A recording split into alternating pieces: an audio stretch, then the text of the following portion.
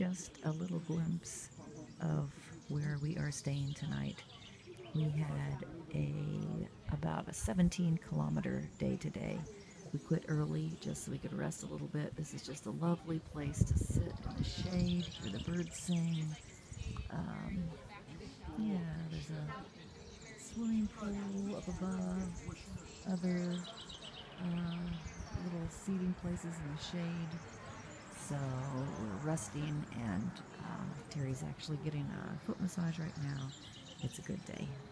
Day 11.